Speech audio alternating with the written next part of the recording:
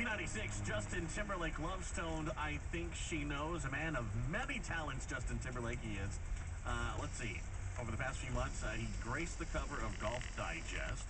He was out on the golf course for the Justin Timberlake Shriners Hospital for Children Open. He's now being endorsed by Callaway Golf Equipment. He was on Ellen last week. And looking into the future, looks like Justin Timberlake going to be on the People's Choice Awards. Nominated